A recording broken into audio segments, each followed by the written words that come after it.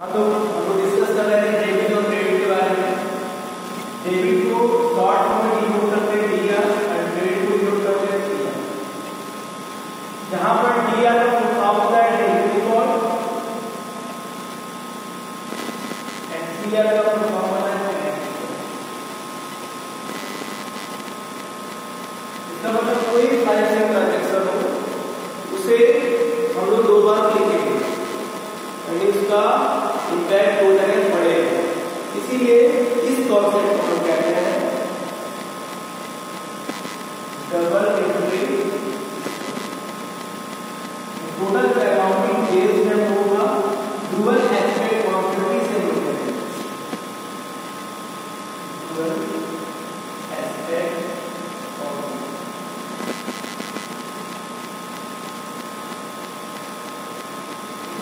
यानी कोई भी ट्रांजैक्शन करना पड़ेगा तो अकाउंटिंग हम लोग डेबिट क्रेडिट ही सीखना है। इसके थ्रू आप हम लोग प्रॉफिट एंड लॉस क्या करेंगे? कॉन्सेप्ट है यहाँ पे जो सोल प्रोप्राइटर जिनको अकाउंटिंग का नॉलेज नहीं है। वह डबल एंट्री सिस्टम को फॉलो नहीं करते। एक बार ट्रांजैक्शन को लिख देते उनका अकाउंटिंग कंप्लीट नहीं होता है। उस अकाउंटिंग को हम लोग क्या कहते हैं इनकम्प्लीट रिकॉर्ड तो जो लोग यहाँ पे पढ़ेंगे तो उसको कैसे सही करते हैं उसमें हम लोग सिंगल एंट्री सिस्टम करेंगे आप लोग भी घर में सॉल्व होगा वहाँ पर जो आप अकाउंटिंग यूज़ करते होंगे आप लोग डबल एंट्री सिस्टम के बेस नहीं होगा सिंगल एंट्री सिस्टम लेकिन लीगल एविडेंस के लिए आपको जो गवर्नमेंट मानता है सिंगल एंट्री सिस्टम को नहीं मानता है डबल एस्पेक्ट कॉन्सेप्ट को ही मानता है क्योंकि कोई भी ट्रांजैक्शन होगा उसको दो फैक्टर रिकॉर्ड होंगे एक फैक्टर को क्रेडिट करेंगे दूसरे फैक्टर को क्रेडिट करना अब बात करते हैं डेबिट क्रेडिट तो होता है लेकिन सबसे इंपॉर्टेंट जो पूरे अकाउंटिंग में है हम लोग को ये जानना ज़रूरी है कि किसे आप डेबिट करेंगे और किस चीज़ को क्रेडिट करेंगे थोड़ा सा हम लोग यहाँ पर समझ लेते हैं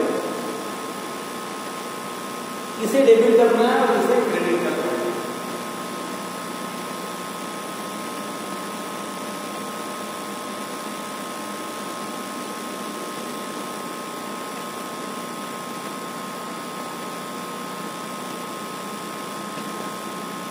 पूरे अकाउंटिंग का एक गोल्डन रूल है। अगर ये रूल आप लोगों को बस याद रहे तो आप लोग समझ जाएँगे बहुत ही आसानी से कोई भी मेडिकल कोर्स तो बिज़नेस ट्रांजेक्शन को रिकॉर्ड करना सीख जाएँगे, अगर ये रूल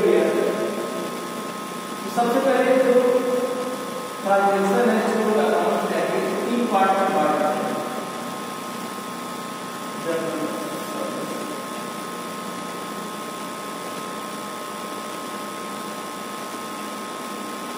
personal account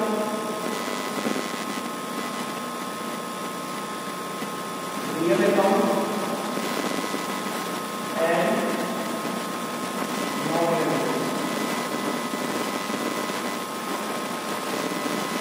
तीन तरह के अकाउंट का मतलब जैसे लोग सुबह में खाता है अब दुकान पे जाते हुए उसका खाता चलता है यहाँ पे बैंक वाला अकाउंट नहीं है ये ट्रांजेक्शन का अकाउंट है ट्रांजेक्शन रिलेटेड अकाउंट इसको तीन पार्ट में पहला पर्सनल अकाउंट बजट बिज़नेस कोई पर्सनल इसे हम उधार देते हैं उसका नाम लिखते हैं ना राम कितना कितना पैसा लिए है कितना बेचते हैं क्या कितना क्या ये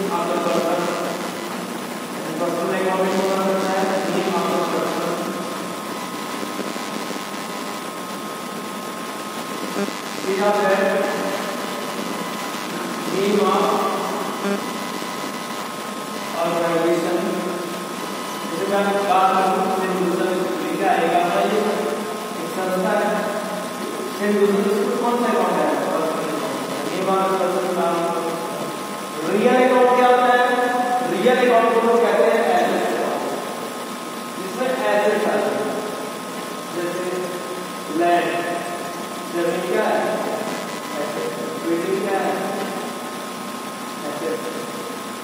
कन्वर्स आपको मिल जाएगा कैश का है बैंक बैलेंस का है ये सब निकल नॉर्मल अकाउंट नॉर्मल अकाउंट का मतलब है कि छोटे छोटे कुछ बिज़नेस खर्चे होते हैं और उस खर्चे उसकी इनकम होती है जैसे मजदूरी किया किराया दिया किसी से मिला प्रदूषण की जाती यानी कि यहाँ पे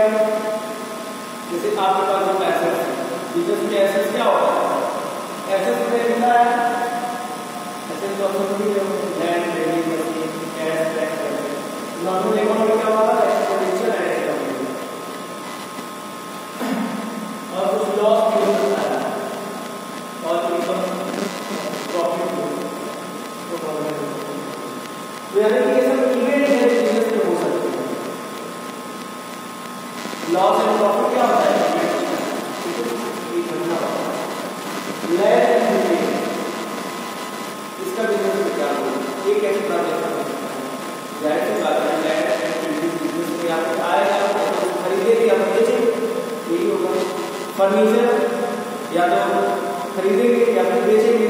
कैश या फिर बिज़नेस में आएगा पैसा, या फिर बिज़नेस में जाएगा इसलिए इसको रिकॉर्ड करते हैं। रियल अकाउंट से रिलेटेड डिटेल तो पर्सनल अकाउंट में क्या पर्सन क्या हो सकता है? या तो पर्सन रिसीवर होगा? रिसीवर का मतलब प्राप्त करने वाला? या फिर क्या होगा? रिसीवर होगा। या फिर गिवर कोई चीज़ होगा इसके अलावा कुछ नहीं। अगर कोई पर्सन रिसीवर है तो उसे लोग डेली करेंगे। डेली करेंगे अगर कोई पर्सन गिवर है, उसे क्रेडिट करेंगे। क्रेडिट का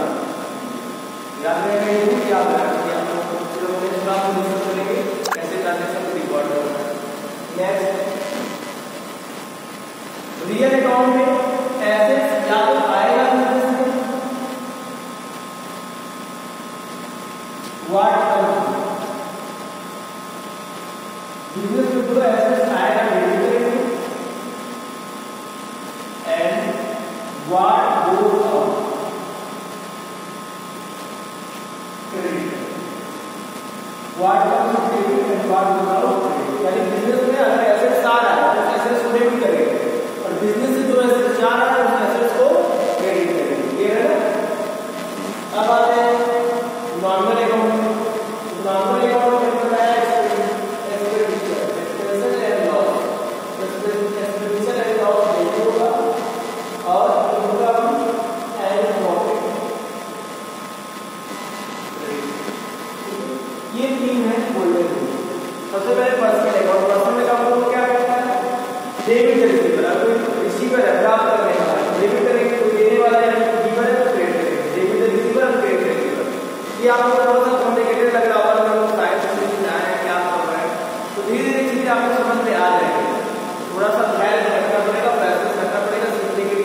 और आई होप कि हम अच्छा कर सकते हैं। सब्जेक्ट में अगर आप लोगों ने नॉलेज प्राप्त किया है फिर मैंने बताया हर एक चीज़ क्या है? साइंटिफिकली ऐसा नहीं? है इसमें भी, कुछ भी पढ़। रहा है लेकिन अकाउंटिंग में क्या करना है? बड़ी तरीके से रिकॉर्ड करना है। जो लोग बिज़नेस के बारे में पढ़ रहे हैं तो बिज़नेस के बारे में पढ़ने का मतलब क्या होगा कि बिज़नेस ट्रांजेक्शन को रिकॉर्ड भी करेंगे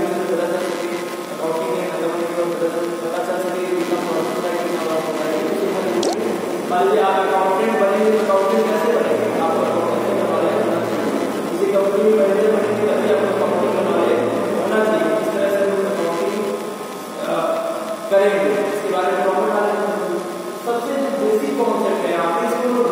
कहते हैं कि मैंने पहले बताया कि हर ट्रांजेक्शन में दो फैक्टर होते हैं पहला फैक्टर डेबिट है दूसरा फैक्टर क्या है क्रेडिट है यानी हर ट्रांजेक्शन का डेबिट भी हो जाए और क्रेडिट भी हो जाए दो बार उसको हो गया है रिकॉर्ड दो जगह रिकॉर्ड करते हैं एक ही बार रिकॉर्ड करते हैं, दो जगह एक डेबिट और दूसरा क्रेडिट तीन अकाउंट होते हैं? Personal account real account and normal account अब रिकॉर्डिंग तो अकाउंट पूरी निकाल दो पर्सनल है रिकॉर्डिंग का personal real and normal personal account में क्या हो सकते हैं?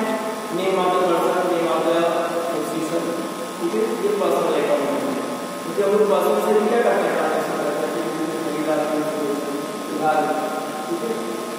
अगर कैश में कोई बात नहीं उधार में खरीद के उसका नाम लिखना पड़ेगा, नहीं ताकि फ्यूचर में उसमें पैसे तो रिकवर कर पाएँगे तो पर्सनल अकाउंट में होगा पर्सनल अकाउंट आप ऐसे कर सकते हैं।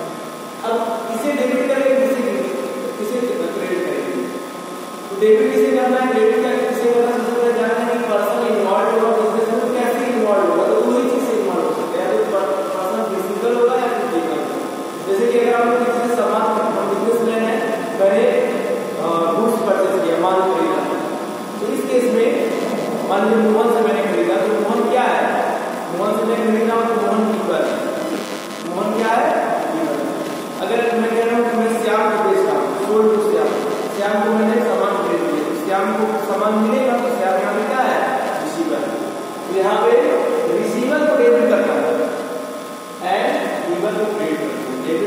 एंड क्रेडिट द से रियल अकाउंट की बात करें तो अकाउंट एसेट्स आते हैं एसेट्स बहुत सारे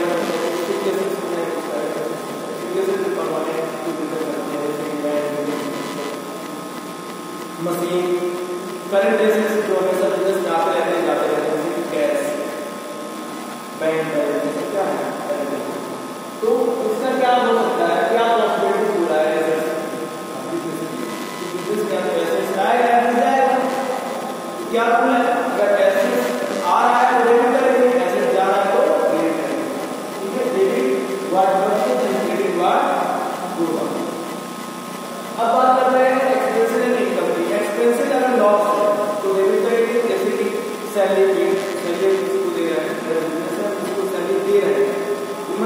दे सैलरी इनकम अगर हम सैलरी दे रहे हैं, हमारे है, हमारे रहे हैं। सर्विस अगर एक एंटिटी है तो सर्विस के लिए क्या है? हम लोग के लिए इनकम है ना जो बता रहे हैं जो जो सब उसके लिए खर्चा है सैलरी क्या है?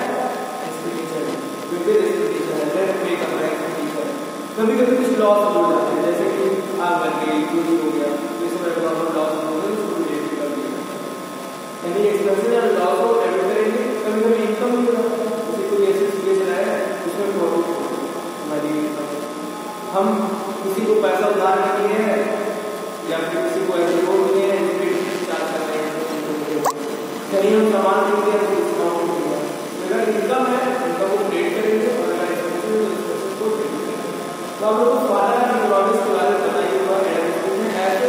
ये भी चाहिए कि जो फादर अकाउंटेंसी कह जाते हैं या फिर डबल एजुकेशन के जो कह जाते हैं, उनका नाम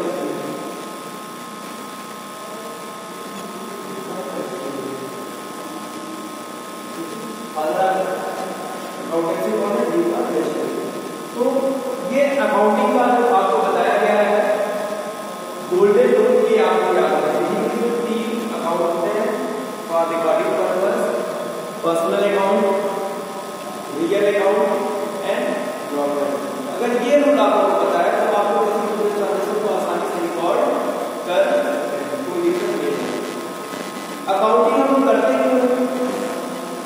अकाउंटिंग करने का आप देखिए अकाउंटिंग करने का आप देखिए होता है। असर्टेन करने के लिए प्रॉफिट एंड लॉस यानी बिज़नेस में प्रॉफिट हो रहा है या लॉस हो रहा है। अगर हो रहा है तो कितना हो रहा है दूसरा